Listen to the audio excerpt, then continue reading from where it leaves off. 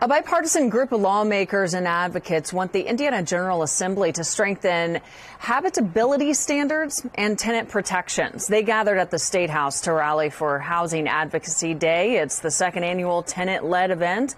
The event focused on Indiana's housing affordability crisis and unaccountable corporate and out of state investor landlords.